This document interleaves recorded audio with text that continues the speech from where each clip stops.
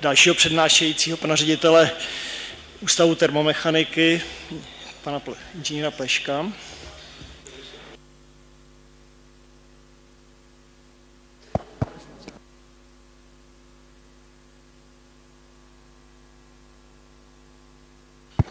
Jo.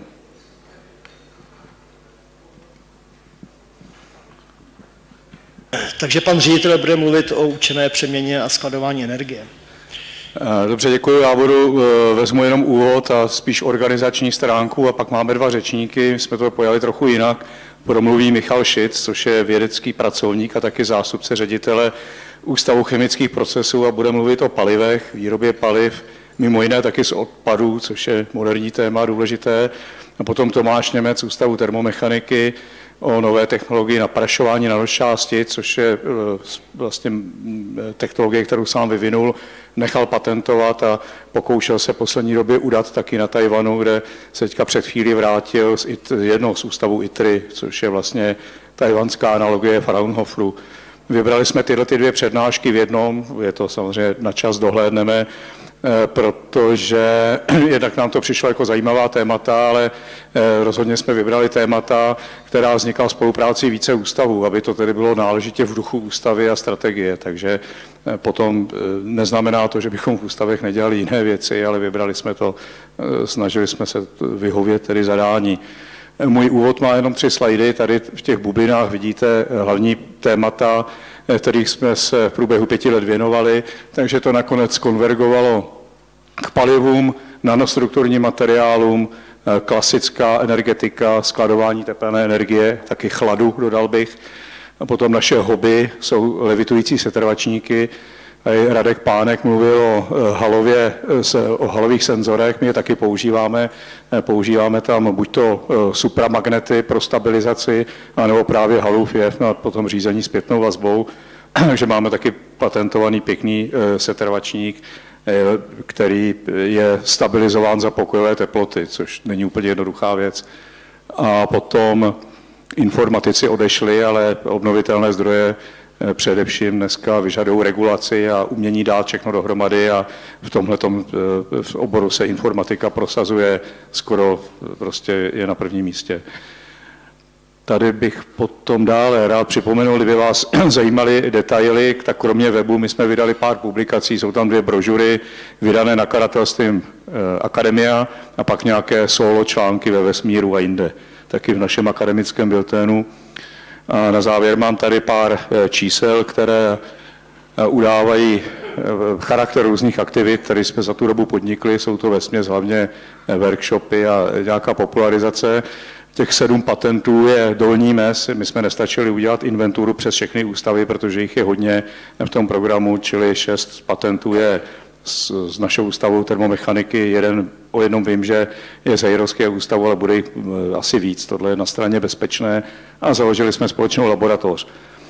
Eh, to, co je eh, tady trochu problematické, je, a co jsem tady neudělal, že jsem tam nezahrnul klasické publikace. My máme řadu kombinovaných prací v normálních, prostě impaktovaných žurnálech, ale vím, že se v akademii vedly diskuse, co tam dát jako výstup, co nedávat jako výstup. Já jsem to nakonec do tohoto obrázku nezahrnul, nicméně dal bych aspoň jeden příklad za všechny, který dobře ilustruje, jak je celkem tahle strategická iniciativa užitečná. My jsme díky tomu začali docela dobře pracovat s ústavem informatiky, no a tam vyšlo najevo, že jejich metody statistického zpracování a vyhlazování a doplňování dat, které používají pro předpověď počasí, se dá dobře naroubovat na naší diagnostiku. My máme systém, který se používá na elektrárnách, mimo jiné v Temelíně, kde už ho ale odmontovali, protože koupili lepší americký. Eh, nicméně eh, je to eh, docela zajímavá věc, když se dají vlastně takhle prokombinovat obory, takže z toho vznikly normální, myslím, dva články v docela dobrých časopisech, ale není to tady zmíněno, protože to je výstup, který vlastně akademie tak jako tak dělá, není prostě otázka, jestli je to nadstavba nebo ne. V mých očích ano. Ale předám raději, přejdeme odborné stránce věci a pozvu Michala. Ujmi se prosím slova. Tak děkuju. Já si s dovolením teda nejdřív nahaju prezentaci.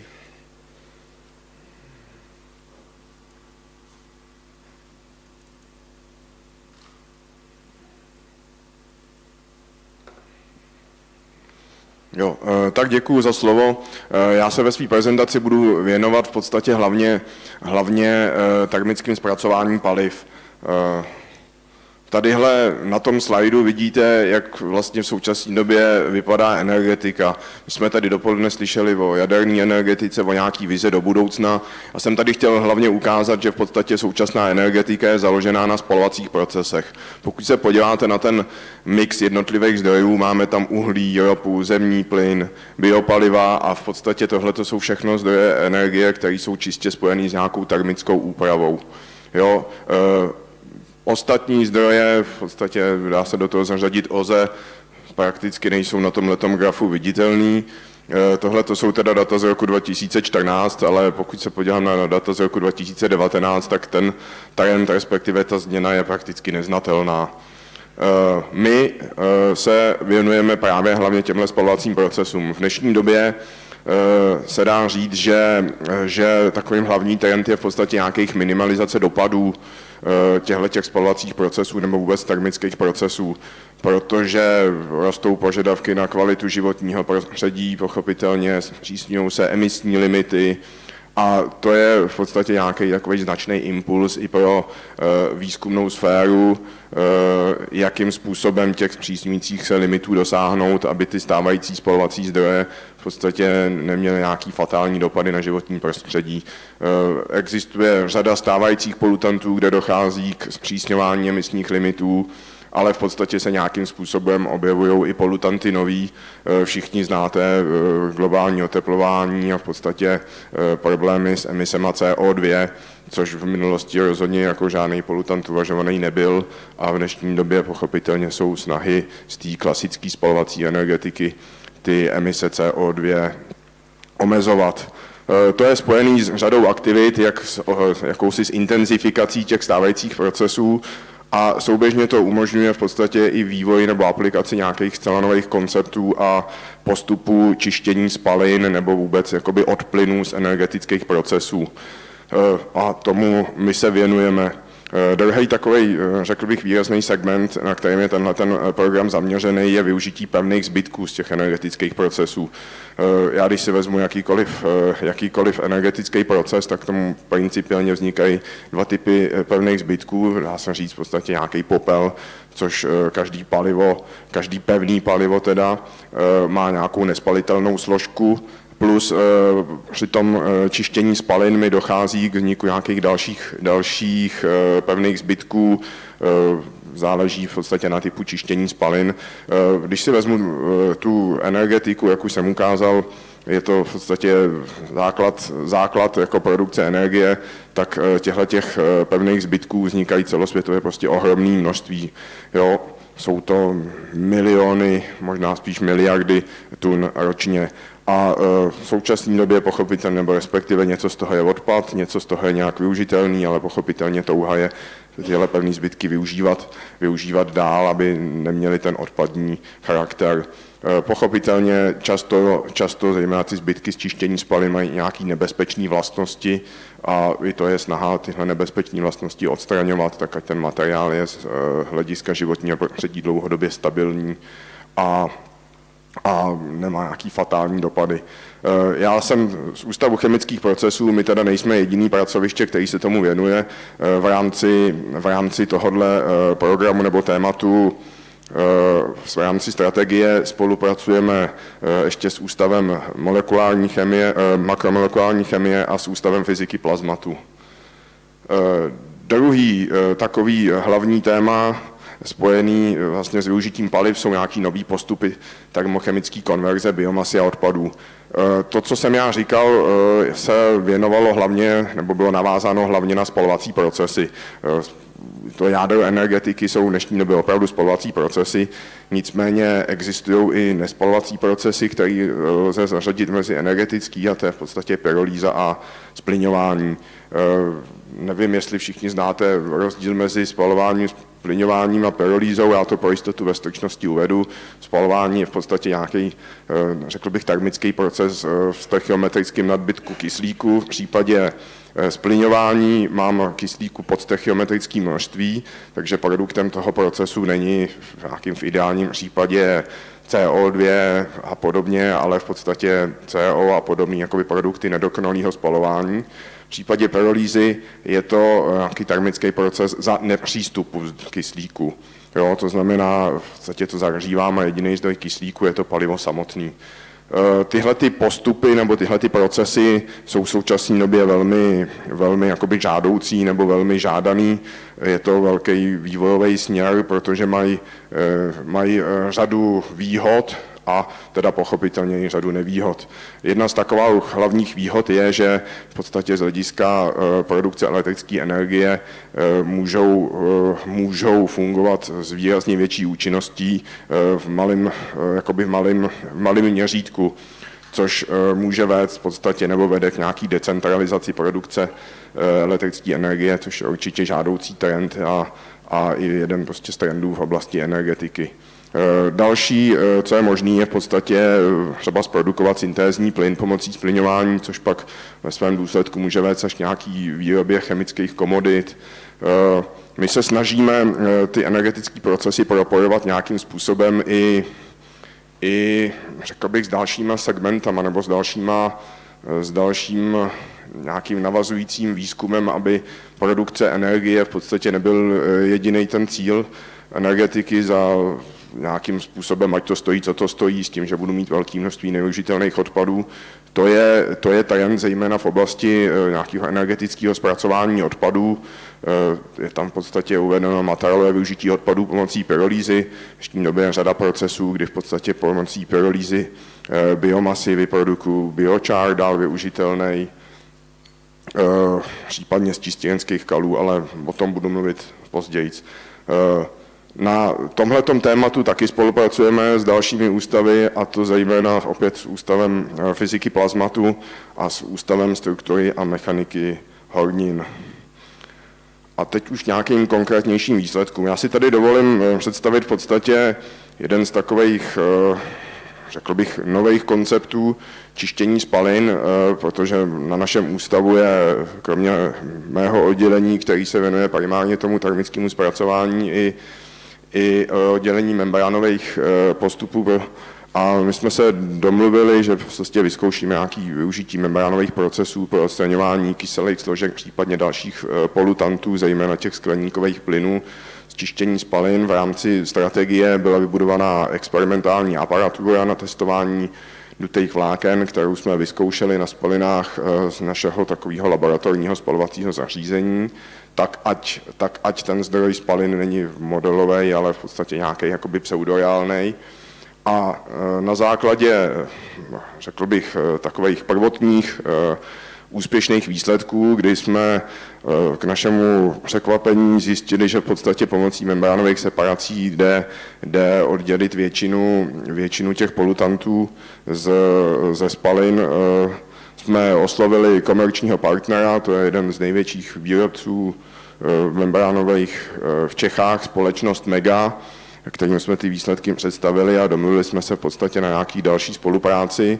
Eh, díky tomu vzniklo konzorcium a v loňském roce jsme požádali o podporu technologickou agenturu s v rámci programu TETA, což je program orientovaný na energetiku a podařilo se nám získat takový velký uh, projekt uh, právě složený z konzorcia třech akademických ústavů, co jsme my, Ústav fyziky plazmatu a Ústav uh, molekulární, makromolekulární chemie spolu s, s programama Mega a Membrane, kdy je v podstatě takovým uh, dlouhodobým cílem vyvinout nebo být schopný pomocí membránových separací separovat oxid uhličitý uh, ze spalin jeho následným využitím. A tam je důležité zdůraznit to s jeho následným využitím, protože membránový separace na rozdíl od jiných, jiných eh, postupů čištění spalin v podstatě eh, tu, tu kyselou složku nějakým způsobem jakoby nepřetaví v něco jiného, ale pouze rozdělím v podstatě dva plyny a dochází mi k koncentraci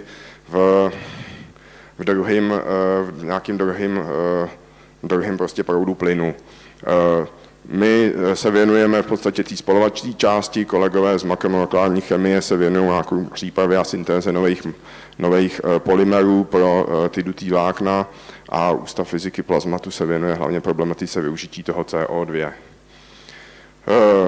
Kolegové mi naznačují, že už mám jenom jednu minutu, tak to s dovolením trošku přeskáču.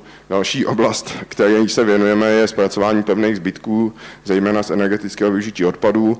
Tam jsme v podstatě na český úrovni jediný a exkluzivní pracoviště, který se tomu věnuje. Spolupracujeme se všema provozovatelema eh, zařízení pro energetické využití odpadů v České republice. Máme s nima x navazujících projektů a co je z mýho pohledu takový jakoby asi nejzajímavější nebo i e, nejlepší v současné době řešíme takovou velkou zakázku ve spolupráci s jednou e, konzultační firmou z Dánska k tomu, aby jsme nastavili, nastavili nějaký správný postup zpracování těchto spevných zbytků z energetického využití odpadů v České republice, kdy součástí toho je nějaké vyjednávání s Ministerstvem životního prostředí pro nastavení environmentálních kritérií a podobně, s tím, že všechny ty spolovny jsou prostě schopný nebo podepsat nějaký memorandum s tím, že na tenhle ten systém přistoupí, takže to z mýho pohledu v podstatě ta dlouhodobá aktivita vyústila i v nějakou eh, jasný využití v průmyslové praxi. Eh, Eh, já tohle to velmi zkrátím. Další, čemu jsme se věnovali, je inovace v podstatě dvou periodizních jednotek, to je z toho druhého segmentu. Bohužel kolegové mi naznačují, že už mám skončit. Já v tom případě, v tom případě eh, jenom uvedu stručný závěr a v podstatě strategie nám pomohla jednak navázání spolupráce s dalšími akademickými ústavama, zejména nějaký inovaci infrastruktury, kterou jsme využili pro prvotní experimenty a díky tomu se navázali průmyslové partnerství a, a těch výsledků, jak už říkal eh, Jirka Plešek, je velké množství. Já jsem tady do nějakých publikačních výstupů a podobně radši ani nešel. Tak děkuju. A předávám slovo.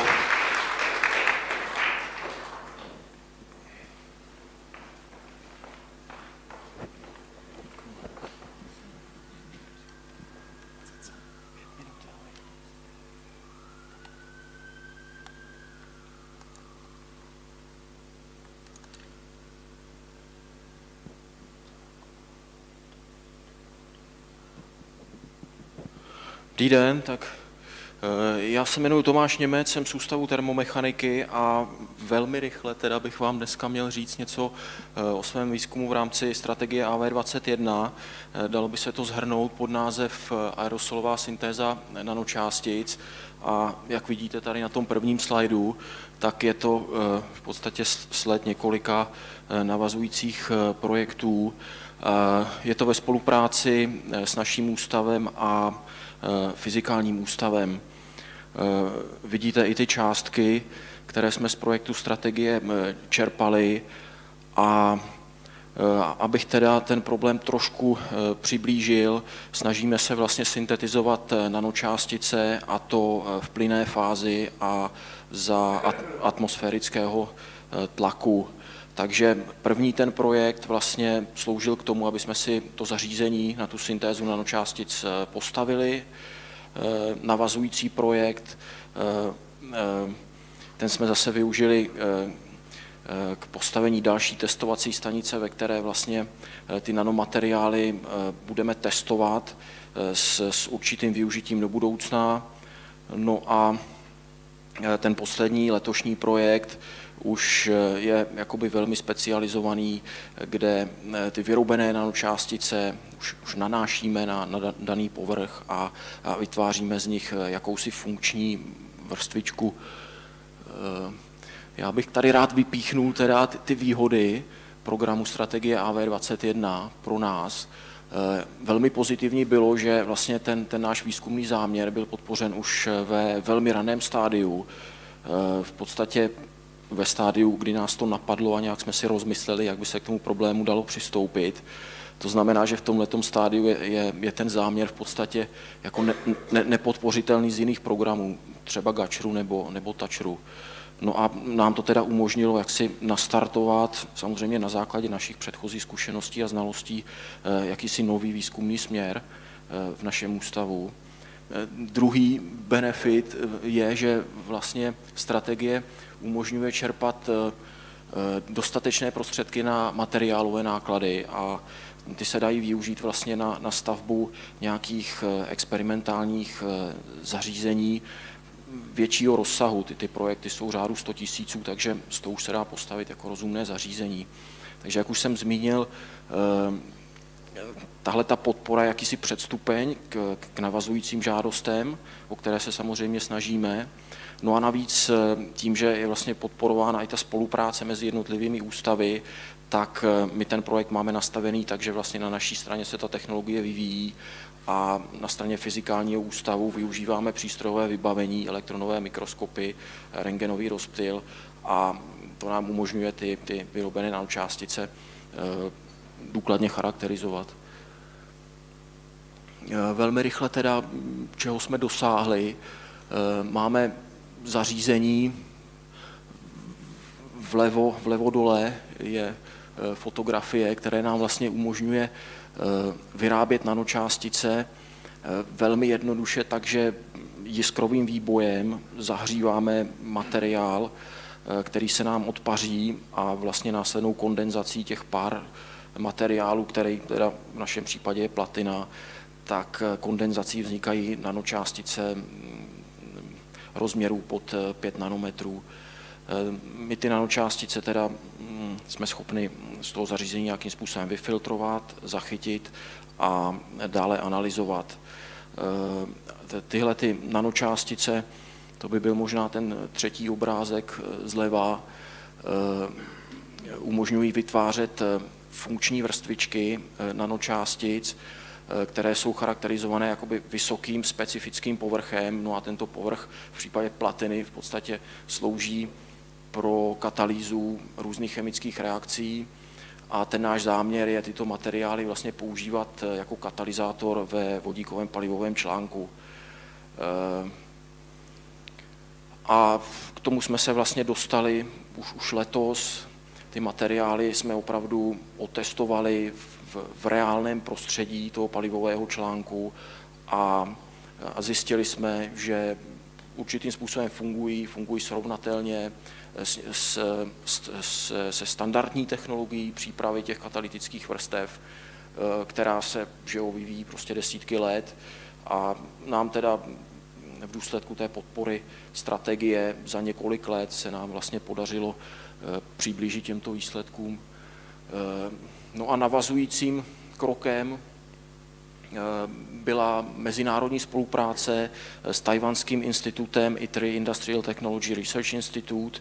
Eh, tato spolupráce byla podpořena eh, dotací akademickou na tři měsíce letos a zahrnovala teda pobyt jeden měsíc v Green Energy Environment Research Laboratory a dva měsíce přímo v Hydrogen and Fuel Cells Laboratories.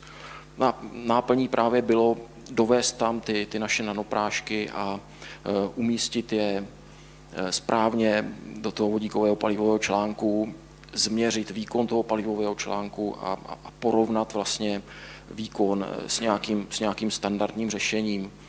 Takže výsledek, který můžu zmínit, je, že to naše řešení v podstatě má 85 výkonů Eh, zařízení standardního s tím, že vlastně díky téhleté mezinárodní spolupráci se objevilo spoustu nápadů, jak, eh, jak to naše řešení v podstatě vylepšit a eh, navázat vlastně na ten první krok, který, který my jsme díky strategii udělali. Takže to by za mě asi bylo všechno. Děkuju.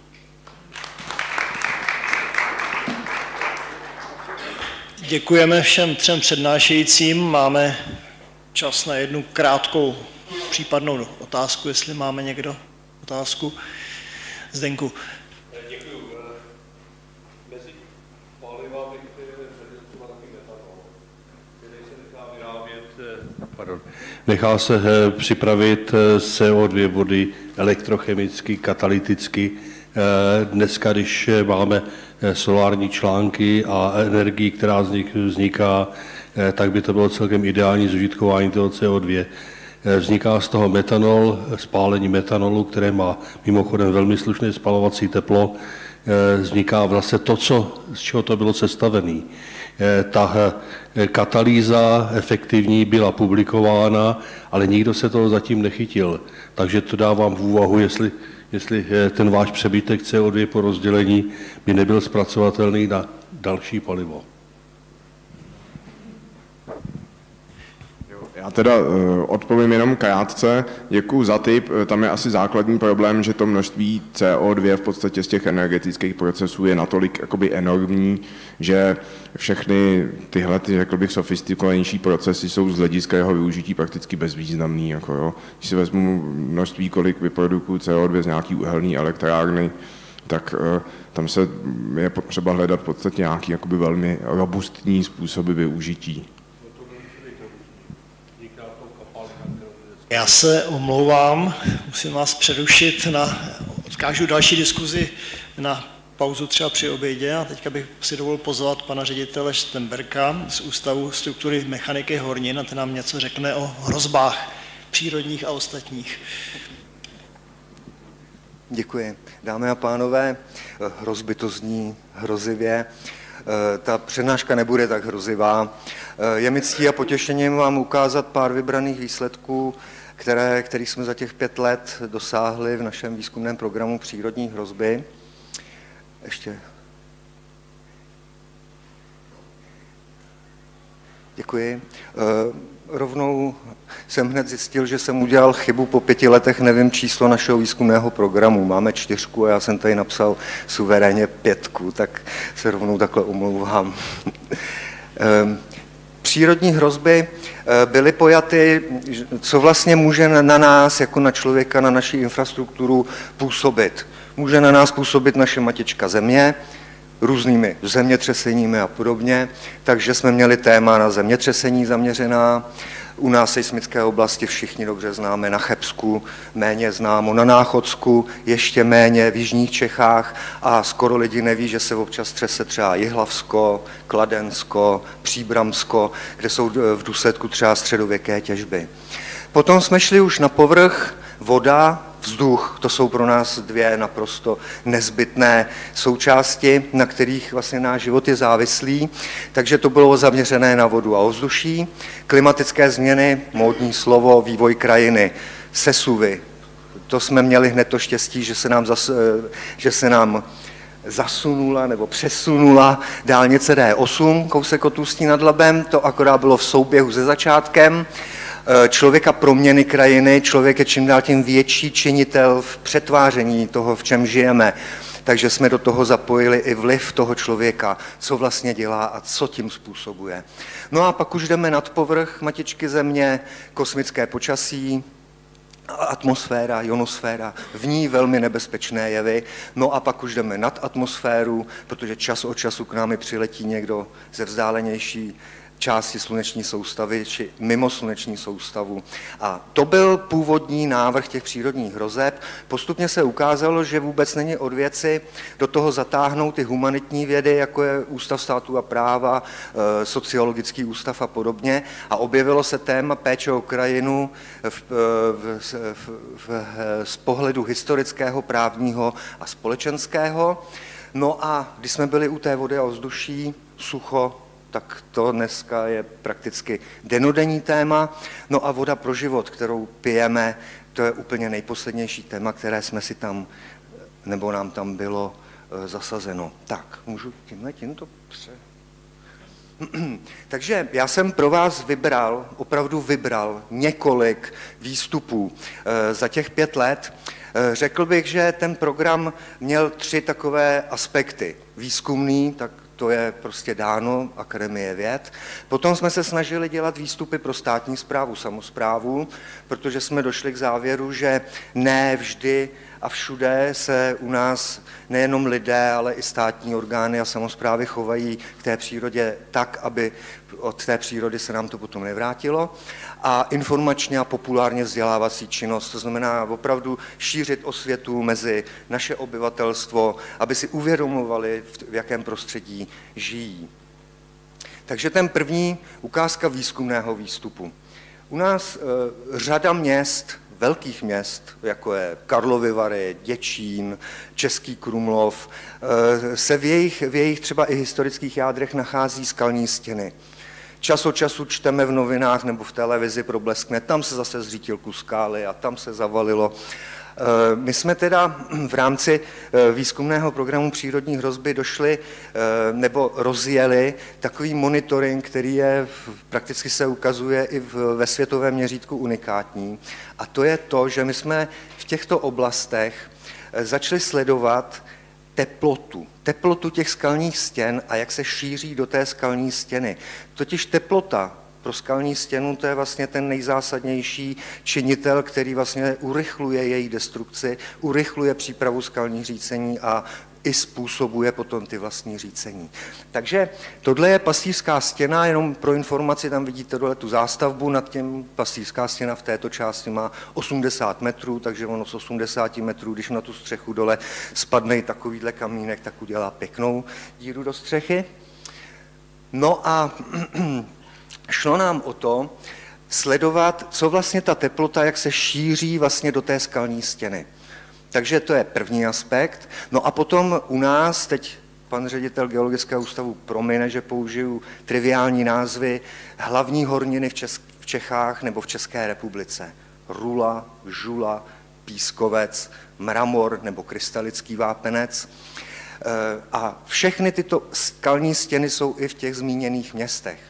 Takže jsme vlastně s místními samozprávami se domluvili o tom, že vlastně tam budou osazeny tyto systémy a zahájil se monitoring. Jak jsem říkal, ten monitoring je svým způsobem unikátní, nejenom rozsahem, ale i tím, že jedeme po těch jednotlivých vlastně hlavních horninách, které u nás, se kterými se můžeme potkat. No a ten druhý, že my zároveň začínáme vlastně to obyvatelstvo chránit zatím ještě úplně ne, ale očekáváme, že dokážeme potom místní samozprávy informovat okamžitě o tom, že může vzniknout situace zvýšeného rizika vzniku skalních řícení. Tohle je ukázka právě z té pastýřské stěny. Tam se dělaly návrty o hloubce až 4 metrů a do toho se strkaly potom teploměry, které vlastně potom po 5, 10, 20, 40 cm a tak dále do hloubky měří vlastně to šíření. A tohle je jenom jediný graf, kterým vás, kterým, kterým vás budu obtěžovat. To je ukázka té teploty, jak se šíří tím skalním masívem, vlastně od povrchu až do hloubky nějakých těch 3 metrů. Tady vidíte i to spoždění, vlastně tu tepelnou vlnu, která jde kde a e, jak to reaguje na oteplování a zároveň na ochlazování. Výstupy pro státní zprávu a samozprávu. Tam nám z hůry bylo dáno e, to, ta D8, která vyvolala velkou mediální, e, mediální pozornost, co se týká sesuvů. Člověk si potom kladl otázku, jak v zemi, kde, kde, která vždycky patřila ke světové špičce ve výzkumu sesuvů, jak může vůbec docházet k takovýmto případům, jako je zavolení dálnice sesuvem nebo stavby dálnice. No, takže tam se jasně ukázala potom ta synergie, že vlastně jsme zatáhli do přírodních hrozeb i ty humanitní, tu humanit, to humanitní spektrum Akademie věd, jako je třeba Ústav státu a práva, kde bylo jasně dáno, aby proje, udělali analýzu naší legislativy, kde je zakopán pes, proč u nás může docházet k takovýmto událostem. Takže se zjistilo, že e, právní rámec existuje, ale vlastně k němu pořádně nejsou nějaké výklady, takže vlastně ty samozprávy, státní zpráva neví vlastně, jak, to, jak se k tomu má chovat, jak to má pojmout. Takže se nám podařilo eh, vstoupit i až takřka do legislativních procesů, kdy jsme, kdy jsme spolu s paní doktorkou senátor, eh, senátorkou, paní doktorkou Sajtlovou, bych to řekl ve správném pořadí, eh, uspořádali pro odbornou veřejnost, i veřejnost a zároveň i pro senátory eh, konferenci o sesuvech, které jsme tam nazvali jako podceňované nebezpečí. Eh, tematicky to potom bylo zhrnuto vlastně v publikaci, která vyšla v rámci strategie AV21, to je na obrázku vedle. No a naprosto, naprostým takovým vrcholem je, že vlastně poté byla zpracována doslova kuchařka pro státní zprávu a samozprávy, která jim poskytuje návod, jak v územích, které jsou ohroženy sesuvy, jak si mají počínat při výstavbě a tak dále.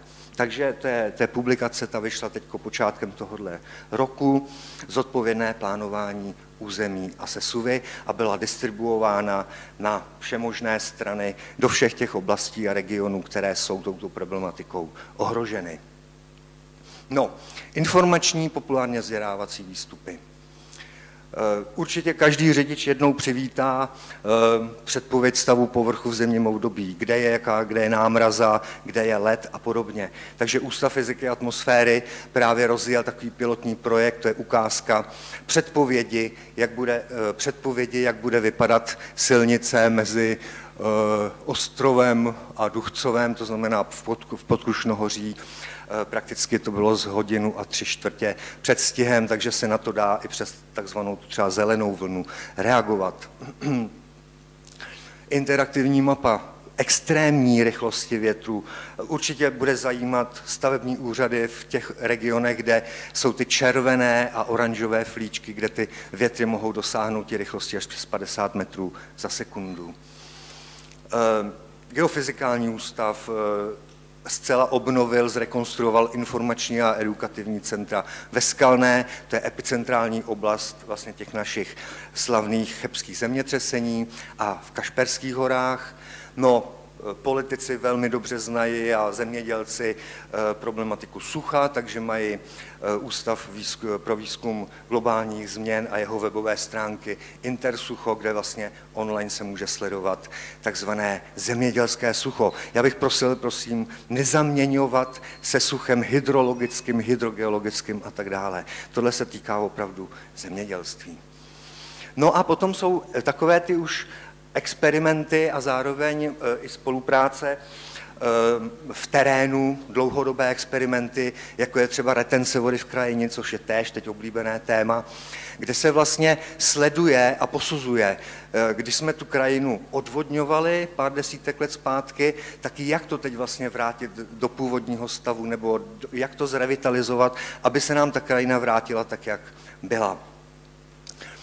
No, e, zkoušíme, zkoušíme predikovat sesuvy. Jsou už na to e, webové stránky sesuvy ničí náš majetek, e, kde vidíte v těch horních vlastně na co všechno si můžou lidi kliknout a co tam uvidí. Ve chvíli, kdy ČHM pustí data zdarma, že budeme moci na, online napojit to si na všechny jejich strážkoměrné stanice, velmi to prospěje právě predikcím typu třeba těch sesuvů pro určité regiony. Bohužel se ČHM musí neustále natvrdo platit velké peníze, takže eh, si pomáháme, jak můžeme, aby jsme teda ta data do toho dostali.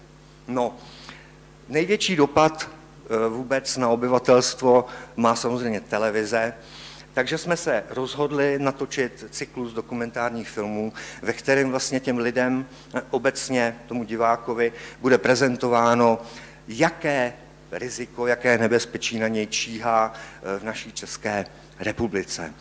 Eh, ukázky z toho cyklu byly promítány na Akademia filmu v Olomouci, zaujalo to tam producenty z České televize takže nakonec eh, Česká televize se rozhodla tento cyklus odvysílat, bude odvysílán vlastně příští měsíc s tím, že ke každému dílu byly natočeny hodinu a čtvrt dlouhé diskuze s předními odborníky na danou problematiku. Vybírali jsme tam tak, aby tam byl odborník, řekněme, ten vědecký z Akademie věd, ten, co třeba vystupuje v tom filmu, potom, aby tam byl někdo z místních, jako lokální geolog třeba, nebo, nebo z správní, správní sféry, pokud se tam týká to legislativy. Takže myslím, že ty diskuze zrovna dneska eh, se probíhá točení v astronomickém ústavu o kosmickém počasí a o příletech mimozemských těles a v červnu to půjde do televize. Eh, moderování se ujal Václav Moravec. No a první díl je Krajina v pohybu, sesuvy, sesuvy, ukázky prostě, jak se u nás chováme k té přírodě a ona nám to vrací druhý díl Zemětřesné roje. Málo kdo ví, že přímo v epicentru se nachází tato malebná přehrada, že je vlastně monitorovaná její hráz. E, při každém větším otřesu se provádí okamžitě přeměřování, protože její protržení by způsobilo obrovské ekonomické škody e, na celém, na celém Sokolovsku bouřlivé počasí věnováno extrémům, jako jsou blesky, kroupy, jestli je možnost predikce, jak se, jak se na takovéto věci připravit. No a zatím poslední díl, Blízký vesmír, tam vidíte záběry z Čeliabinsku před pár lety, kdy jim tam prolétl vlastně ten meteorit, který způsobil docela významné škody. Bohužel pátý díl, který se týká velmi žavého tématu eh, a nazvali jsme ho předběžně pracovně Mizející půda, věnovaný tomu, co se u nás dneska děje, prostě jak probíhá zemědělství, jakým způsobem se chováme vůbec vlastně k tomu půdnímu krytu, tak ten eh, je připraven, scénář je připraven, ale bohužel se nenašly peníze na to, aby se v letošním roce mohl realizovat. Problém je v tom, že každý film je dneska investice, takže to musí být investiční prostředky a hold prostě investiční prostředky na ten poslední díl se nenašly. No a e, abych teda ještě se trochu pochlubil cizím peřím Ústav fyziky a atmosféry, jeho slavný Magion a opět na, naše SSČ, které natočilo k tomu dokumentární film a dostali ocenění jako nejlepší vědecko-populární film roku 2019. Je to tak správně 2019. No, všechno je o penězích. Já jsem trochu zkusil jen tak prostě kolem těch sesuvů, protože to je, to je vlastně moje, moje hobby, eh, se podívat, jak, jak vlastně, co my to té státní správě vlastně podstrkáváme, ty naše výstupy. Tak tady máte jenom, kolik jsme jim ušetřili peněz, přímo, řekl bych v uvozovkách cash, a jaký úspory potenciálně do budoucna od nás dostávají už jenom tím, že se jim do, do, do ruky dostane ta, eh, ta eh, podrobná kuchařka Ústavu, Ústavu státu a práva.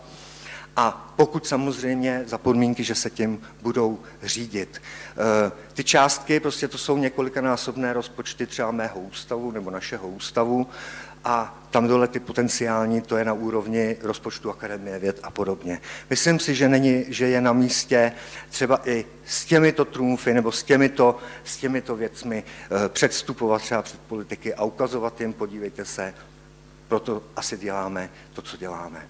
Děkuji vám za pozornost.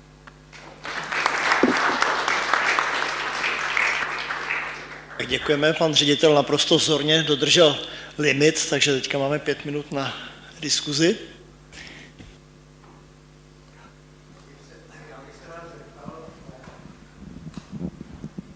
Já bych se rád zeptal, mě zaujaly ty přehrady, bezpečnost přehrad, protože jsem pamětníkem, kdy nám vyplavil barák 1997 řízený odpuštění přehrady šance na, to, na Ostrovsku, jestli takovéhle věci už se tedy nemohou stát, nebo Jestli no, se to sleduje, monitoruje. Ano, přímo šance, ta je po událostech ve Vajontu v roce 63, kdy tam došlo vlastně ke zřícení části hory a přílivová vlna, eh, vlastně tam bylo skoro tři tisíce obětí. Šance je sledovaná. Celý ten kopec nad tím je totiž hluboce porušen gravitačně a provádí se tam monitoring. A v roce 97, přímo v noci, kdy vrcholily ty srážky na Moravě, tak seděl, to nikdo neví, krizový štáb vyhodnocovali se měření, protože ten kopec se rozjel taky, reagoval na ty srážky, docházelo ke zrychlování těch pohybů a bylo rozhodnuto, že ráno se bude evakuace celého toho údolí.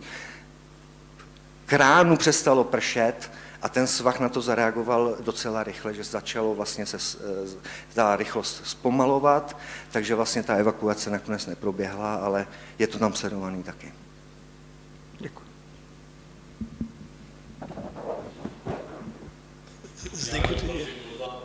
Že se ho slíbil na začátku, jak se rozdělil populaci na lidi a státní zprávu.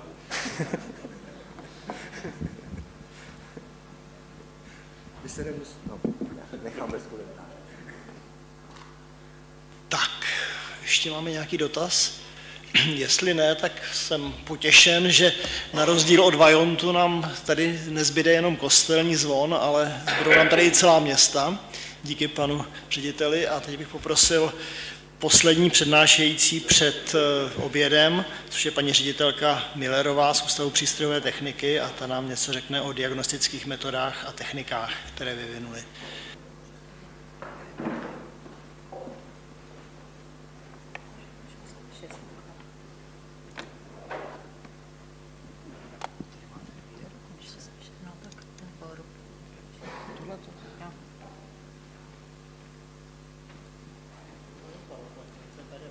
Jedno. Tak dobré téměř poledne, dámy a pánové. Ráda bych vám řekla něco o našem programu diagnostické metody a techniky.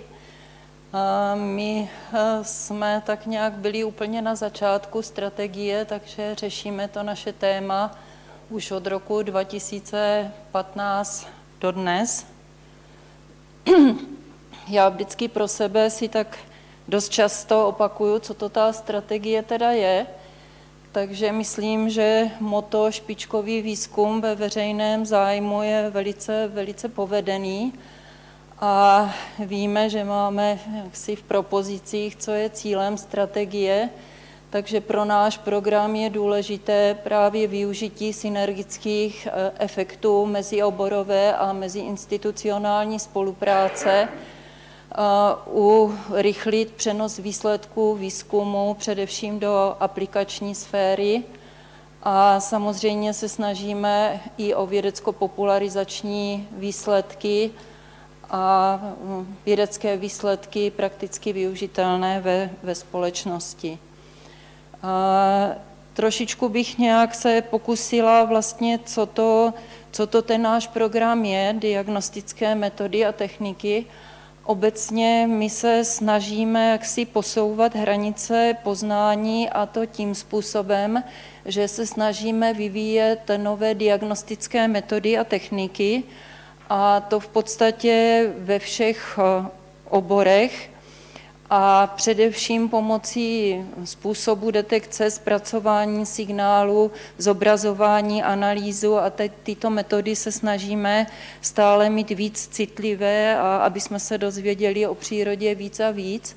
Samozřejmě k tomu potřebujeme, aby jsme se o tom materiálu dozvěděli víc a víc, nové technologie, elektronové svazky, laserové, chladit potřebujeme, snížit pohyblivost, a tak dále. To znamená, toto je takové hrubé zaměření a jestliže vyvineme nové diagnostické metody, tak potřebujeme velkou spolupráci s těmi, kdo ty metody jsou ochotní jak si využívat a kdo jsou jak si ochotní se do toho neznáma dívat a pomoc najít eh, aplikace těch nových metod potom, a jak vidíte v lékařství, biologii, chemii, fyzice a tak dále. To znamená, pro tento program je opravdu strategie naprosto stěžejní, protože nám právě umožňuje eh, další a další jakési to sesíťování mezi eh, jednotlivými pracovišti, vysokými školami a samozřejmě průmyslem. Tady je, co máme v dnešním eh, roku 2019 za partnerská pracoviště, které, kteří jsou teda z toho našeho eh, programu finančně podporováni, což je Biologické centrum, Fyzikální ústav, Fyziologický ústav, ALMA, Ústav experimentální botaniky, Ústav fotoniky a elektroniky, Ústav fyziky plazmatu, fyziky materiálu, maklomolekulární chemie, teorie informace a automatizace a Ústav výzkumu globální změny. Schválně to tady čtu, abych tomu dala dostatečnou váhu a všem moc poděkovala, že jsou ochotní s náma do toho programu jít a spolupracovat a prostě hledat nové využití jaksi diagnostických metod. Takže moc děkuji a protože ten náš program víceméně končí po pěti letech, tak doufám, že se nám podaří otevřít nějaký podobný program, podobně orientovaný do budoucna. Tady je pár spolupracujících partnerů. Ono jich je mnohem víc a ještě ukážu dál v průběhu prezentace, ale tady jsou ti partneři, kteří opravdu díky strategii tak nějak prostě s námi začali spolupracovat a jsou z toho nějaké skutečné, skutečné výsledky. Teď půjdu slide za slidem a budu se snažit ukázat, k čemu nám jakoby strategie pomohla. Takže nebudou to samozřejmě všechny příklady, to máme každoroční zprávy, ale přece jenom jsem se snažila co si, co si vypíchnout. Tak my máme v ústavu skupinu, která se zabývá fyzikou nízkých teplot a prostě udělali v té oblasti hodně, mají databázy eh, měření emisivity v podstatě pro všechny materiály, absorpce a tepelné vodivosti v úžasném rozsahu teplot, prostě opravdu o všechny materiály. Ta databáze je dostupná na webu. Eh, mají řadu fyzikálních výsledků, mají řadu publikací ve významných eh, pracovištích, zabývají se základní výzkumem, ale teď eh, by bylo dobré prostě ty jejich výsledky víc využít, což se díky strategii podařilo tím, že teda se uspořádalo pár seminářů, kde se pozvali prostě partneři a významné firmy, kde jim ukázali, co jako dělají a z toho vznikla jaksi řada možností spolupráce a smluvního výzkumu a dnes už je to tak, že víceméně ty spolupráce skoro musíme odmítat, přes kapacitních důvodů už nejsme schopni jaksi vyhovět. Další věc je podobná. Zase máme skupinu, která se dlouhodobě zabývá vytvářením jaksi tenkých vrstev odborníci dobře rozumí, o co jde, ale tím míněnom třeba vytváření tady multivrstev prostě v oblasti nanometrů a s přesností desetinu nanometru, takže to je technologicky velmi obtížný a koupit si nějaký naprašovací zařízení a myslet si, že to člověk jen tak udělá, tak ono to není, není tak úplně jednoduché. Tady především spolupráce s Ústavem fyziky plazmatu, kde bylo uspořádáno několik konferencí, seminářů a zase se podařila otevřít spolupráce s firmami. Dneska už úzce spolupracujeme s Eli Beamlines tady v téhle oblasti, s ČVUT v Praze a s firmou Rigaku. Další eh, takový na jednu stranu zvláštní výsledek je spektroskopie sekundárních elektronů, kde se podařilo vlastně u nás v ústavu vytvořit eh, metodu spektroskopie sekundárních elektronů. Potom je univerzita v Singapuru, kde vyvíjí všelijaké spektrometry, tam jsou na to odborníci. A pak je univerzita v Sheffieldu, kde velice dobře rozumí interakci elektronů s látkou a zejména emisí sekundárních elektronů. Samozřejmě ty lidi se potkávají, ale díky strategii se nám podařilo ty, ty skupinky dát dohromady v ústavu a opravdu společně jak si vytvořit kvantitativní měření dopantů v polovodiči Ono by se řeklo, eh, široká veřejnost těžko bude potěšena tím, když řekneme, že umíme kvantitativně měřit dopandy v polovodičích, ale na druhou stranu všichni používáme mobily a tím, že tu metodu umíme, tak firmy, které vyrábí elektronové mikroskopie, tak jsou schopni tu metodu implementovat a pak eh, slouží vlastně eh, vývojářům polovodičových struktur, takže eh, najednou to začne být velmi, velmi užitečná záležitost. Eh, tady je ukázka eh, zase něčeho jakoby vzdáleně podobného. My jsme jaksi z prostředku akademie koupili environmentální elektronový mikroskop, ale protože mm, jak si ten program řeší diagnostiku a přístrojovou techniku, tak my jsme schopni jak si zlepšit detekční možnosti toho zařízení a podobně, takže jsme výrazně přispěli k pochopení vlastně ukládání křemíků v, budeč, v bunečně stěně za přítomnosti kalózy, což jsou, jsou jakési geny.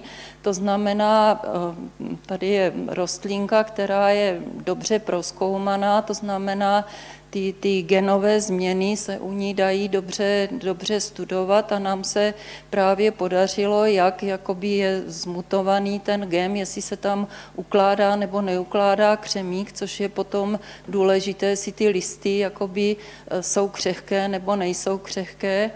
A tady je skupinka, která se která se tím zabývala. Musím říct, že toto není úplně můj obor, ale e, odborníci třeba i paní profesorka Zažímalová, tak eh, tady ty, ty výsledky velmi, velmi oceňovali. Tady je něco, něco podobného zase, že se podařilo mm, vyvinout eh, nový a kvalitnější ty de- detektorů, který eh, nikde na, na světě v podstatě není k dispozici tak se podařilo zase teda ve spolupráci, protože my nejsme odborníci na, na biologii, eh, objevit nový druh eh, výřníků, což ve spolupráci s těmito ústavy, kde v Holandsku teda dodávají jaksi ty, ty objekty, tady se zabývají DNA a tady se zabývají jako měřením topografie. A v podstatě jsou to ty věřníky většina z vás ví, ale kdo ne, tak to jsou jaksi objekty, které se vyskytují ve vodě a dá se říct, že jakýmsi způsobem filtrují vodu. Takže jako ty lidi, kteří se zabývají studiem těch, těch věřníků, tak velmi jaksi oceňovali zobrazení v RM. Další věcí, kterou se u nás zabýváme, je vývoj nové metodiky pro detekci bakteriofágů používaných pro léčbu závažných bakteriálních infekcí, protože víme, že na penicilin se stáváme čím dál víc odolnější, to znamená, je potřeba vyvíjet nové, nové možnosti a nám se daří pomocí kryo mikroskopů velmi kvalitní zobrazení těch eh, jakoby bakteriofágů. Další z věcí je spolupráce s laboratoří ALMA. Pro nás eh, jako je celkem naprosto standardní zobrazení eh, v elektronovém mikroskopu a, a prvková analýza, ale prostě pro lidi, kteří se zabývají studiem jaksi obrazů a historických památek, tak eh, v tom spatřují naprosto něco úžasného a to je jaksi ta mezioborovost, kdy eh, pro nás, jakoby vývojáře přístrojů, už je to téměř nezajímavá záležitost, tak oni umí jako najít aplikací a, a velké uplatnění a, a jsou velmi rádi, že, že prostě tahle spolupráce začala. Co se týče další oblasti, eh, kterou podporuje strategie, máme v, od, v, u nás tým, nebo spolupracuje s dalšími institucemi, který se zabývá metodou analýzy elektrofyziologických signálů. To znamená jedna z věcí, že se měří celotělová impedance a zjišťuje se kvalita CEF, nebo se měří protože jsme schopni stále citlivěji a s vyšší frekvencí měřit signály jaksi fyziologické, tak je možné rozlišit vlastně tep levé a pravé srdeční komory a z toho je možné predikovat prostě na nějaké nemoci a nebo onemocnění kardiovaskulárního systému. A tyto věci my teda řešíme v rámci jiných projektů. Toto není tak úplně jakoby eh, podporováno strategií, ale rychle se k tomu dostanu. Máme tam, jak si teď už pozdoka, Filipa Plešingra, který vyvinul program Signal Plant, který v podstatě, protože z těch měření se získává obrovské množství informací, takže ten, ten software umožňuje zpracování těchto, těchto signálů. A díky strategii on každoročně organizuje e, semináře, kde v podstatě e, představuje ten svůj program, který je volně dostupný a v podstatě už je přes tisíce instalací po celém světě jsou na to web stránky, je volně dostupný a ten program je používaný v mnoha v dalších institucích a pro mnoho dalších aplikací. On se ani kolikrát nedozví, pro, pro jaké aplikace, takže díky strategii, která umožnila organizování těch seminářů, tak ten program jak si je využívaný naprosto neuvěřitelným množstvím uživatelů. Další oblastí, která je, byla podporována e, strategií, je rozvoj Ramanovy spektroskopie e, pro studium e, všeho možného. Zase tady jsou spolupracující instituce a znovu, jak si to, to provází celou, celý tady tento program, že my jsme schopni vyvinout zobrazovací metodu, ale prostě hledáme pro ní uplatnění, využití a potom potenciálního výrobce. Takže tady taky za podpory strategie a organizací všelijakých seminářů se nám podařilo najít uplatnění a tahle kamera je potom vyráběna jako jeden z příkladů tady v této, v této firmě. Další takový zajímavý program, který se řeší, je holografická endoskopie, to znamená, nám jde o to vyvinout metodu pro zobrazování neuronů s vysokým rozlišením v mozku. A samozřejmě začíná se na, na myších, a e, teď cílem je, aby e, vlastně ten objekt nemusel být uspán, aby se mohl hejbat a teď jde o to, aby ta informace, která se z té hlavy jako dostává, tak i když se ten objekt pohybuje, aby ta zvětšená informace o těch neuronech se jakoby přenášela na, na tu obrazovku.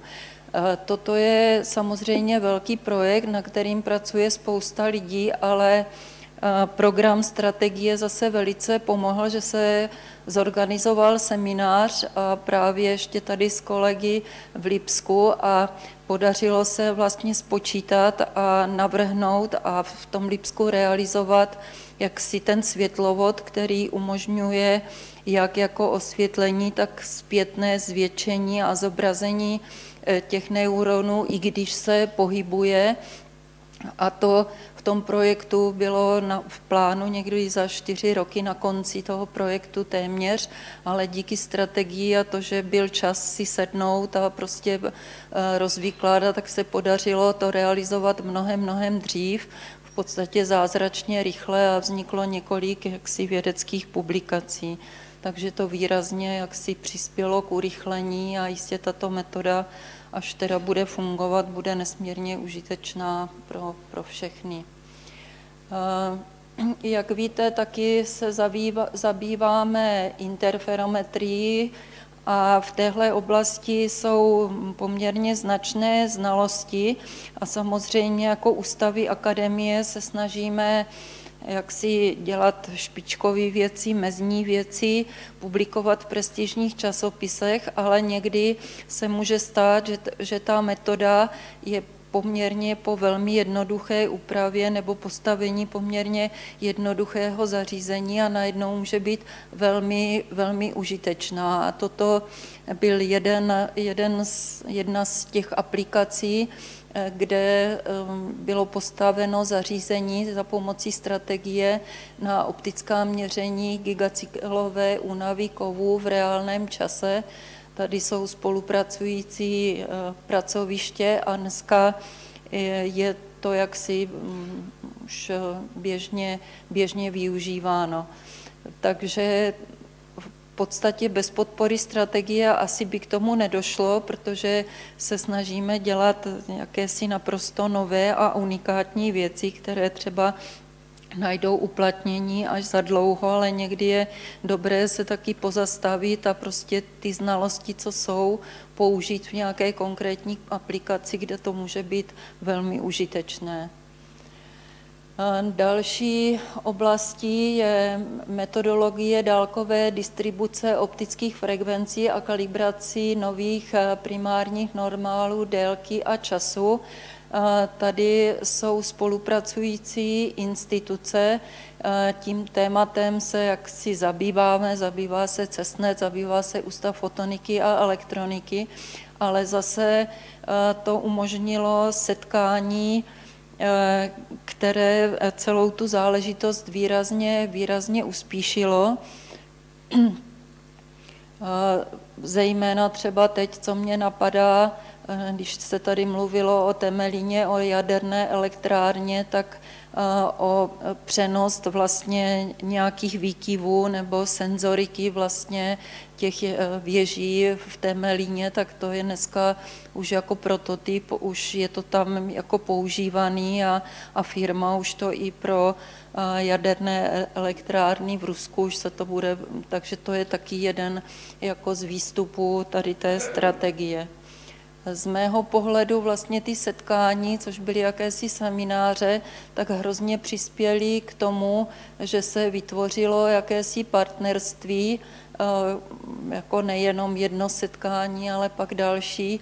A k rozvoji eh, kvantových technologií, což je dneska téma eh, jaksi ve světě velmi, velmi žádané a podařilo se opravdu díky strategii a že se, jsme se setkávali eh, podat projekt Klonest, což si myslím a další tady tento projekt. Takže opět strategie velmi, velmi pomohla tady dát dohromady jakousi skupinu odborníků a, a podat dva velmi, velmi významné projekty.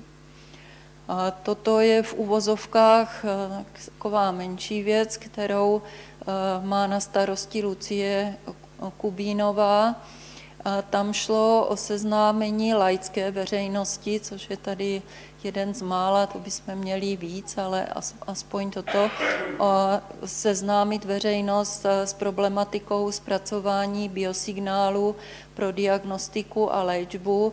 To znamená, tady byly představeny jaksi aplikace, jak mikroskopii, magnetické rezonance a tak dále ale byli tam i zahraniční partneři, ale čeho si tady vážím, že to byla, že byla opravdu pozvaná i, i laická veřejnost a zrovna včera jsem mluvila s Lucí Kubínovou, že opravdu 6 hodin ty lajci dovedli diskutovat o, o všem možném. Tady jenom eh, velmi rychle další jakýsi vyvinutí nového měřicího systému pro měření odolnosti optických vrstev proti, proti poškození, takže zase jakási taková jednoduchá aplikace, teda z hlediska eh, strategie. Eh, další jakési, jak, téma, které bylo podporováno strategií je studium materiálu nové generace, což jsou 2D, 2D krystaly. My už samozřejmě se tím bavíme i v rámci jiných projektů poměrně dlouho. Dneska umíme velmi dobře jako studovat 2D krystaly, jak teoreticky, tak souhlasí nám měření s se spočítanýma věcima a podobně, nepůjdu do detailu. A dál, aby jsme pochopili vlastně eh, všechny ty materiály, tak jsme vyvinuli tady toto zařízení jako Time of Fly, který pracuje na velmi nízkých energiích a v podstatě je to jediné zařízení na světě, eh, které je schopno tady tyto jevy jak si na velmi nízkých energiích měřit, popsat a, a podobně. Já tady nepůjdu do detailů, protože to je tak jaksi fyzikálně náročné, ale proč o tom mluvím tady v rámci strategie, že jako když my přijdeme na konferenci, že máme nějaký unikátní zařízení a první na světě umíme měřit inelastic mean free pass na velmi nízkých energiích, tak jako všichni tak pokejvou, ale nic moc se nestane. Ale podařilo se nám jaksi uh, vzejít do úzké spolupráce tady s panem profesorem z americké univerzity, který, jak bych tak řekla, má tak na branku a tady v oblasti této má mm, každý rok mnoho publikací v Nature a my ho můžeme díky strategii pozvat a on je ochoten teda už jakoby přijel a prostě s náma spolupracovat a pomoct nám ty, ty publikace, jak si do toho Nature nějakým způsobem, když to řeknu škaredě, eh, dostat. To znamená eh, i jak si strategie tady pomáhá jak si špičkovým vědeckým výsledkům, tak aby jsme byli schopni jak si, jakýmsi způsobem dostat do široké vědecké veřejnosti. Další je pokročilé mikroskopické techniky pro studium ocelí. A tady zase to pozadí je takový trošku delší, že my jsme kdysi vyvinuli metodu pomalých elektronů, která je používána v elektronovém mikroskopu. Mimochodem díky tomu se produkce elektronových mikroskopů prvně zvedla o 30%, takže to si nikdo neuvědomí, že nějaká prostě čočka může vést k tomu, že vlastně se vytvoří až desítky možná stovka pracovních míst jako v regionu, v Jihomoravském kraji a podobně. A teď tady je něco jakoby podobného, že je velká firma GFE Steel, která se zabývá vývojem v Japonsku eh, kovových ocelí a prostě je zajímá, jakoby, nebo našli aplikaci eh, na prostě zobrazení pomocí velmi pomalých elektronů. Tady třeba vidíte jedna, že rozliší prostě Eh, jednotlivé fáze mnohem líp. Oni si tam vytvořili celou linku prostě mikroskopu s pomalými elektrony, ale teď by chtěli jít ještě níž a teď prostě to GFI přijede do Brna a eh, chce, jako jedná s firmama o to, aby jim postavili ty přístroje a tím, že se jakoby v rámci toho programu vytvořila jakási nová metoda, o kterou teda mají jakési uživatelé zájem, tak prostě teď je tlak na ty firmy, co vyrábí elektronové mikroskopy, aby eh, to tam dali a tím vlastně my nepřímo napomáháme prostě dalšímu prodeji těch firm a úspěchu a, a vytváření. Víte, že ty firmy dneska v Brně 30% celosvětové produkce elektronových mikroskopů je děláno v Brně a troufám si tvrdit, že jsme tomu alespoň trošku, trošku pomohli. No, na závěr tady mám samozřejmě taky pár jakýchsi popularizačních výsledků. Bylo jich celá řada, ale tady mám jenom tři. Realizovali jsme výstavu. V roce 2015 Pavel Zemánek byl předseda Českého koordinačního týmu pro Mezinárodní rok světla. Víte, že to byla obrovská celosvětová akce a jenom v České republice jich bylo 70. Mimochodem dnes je Den světla a pokud vím, tak ELI Fyzikální ústav budou osvětlovat Petřínskou rozhlednu a zároveň si osvětlí budovu u nich, jestli to tak správně říkám.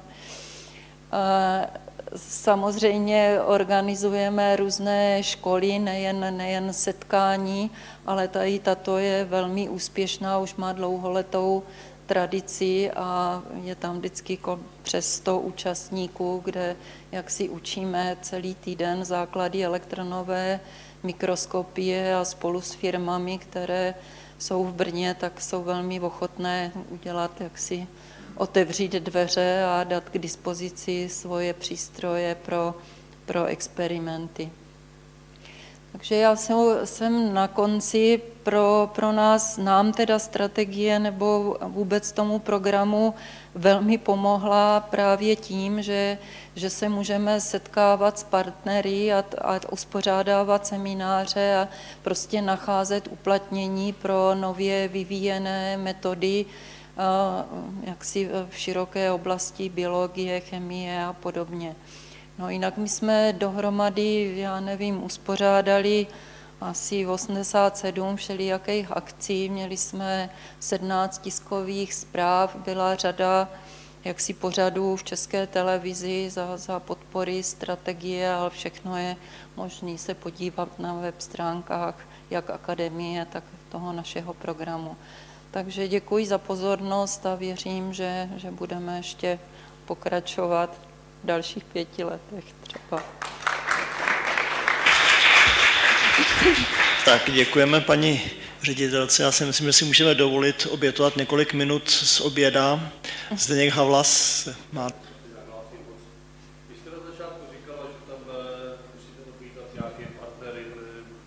přestože je eh, zájem o to, co děláte. Hmm. Mně to přijde, že to je pravá chvíle, kdy můžete eh, uvažovat o vzniku spin-offu. Máte know-how, hmm. máte partnery, který o to stojí a určitě najdete někoho šikovného, třeba z mladší generace, kde by se toho chytil. Hmm Eh, no, aby to nedopadlo jako s těma mikroskopama. Vy jste jí přispěli k tomu, aby se dostali na takhle vysokou úroveň, ale co z toho ústav má? Hmm. Ne, máte pravdu a jako už, už asi tušíte, že vás chceme pozvat do ústavu a na to, te, na to téma si u nás jako promluvit. Máte, máte naprosto pravdu, já musím říct, že o tom teď jako poslední dobou přemýšlím pořád. Každý den o tom mluvíme, jestli teda do toho půjdeme, nebo, nebo jako, je to, je to škoda si, protože já to vidím, to je, no, no, mě to dá, vedení akademie mě to dá za úkol. No je to, je to v několika oblastech, jako, nebo v hodně oblastech a už, už si to skoro volá. No. Děkuju za podporu nějakým směrem. Nejhorší je váhat.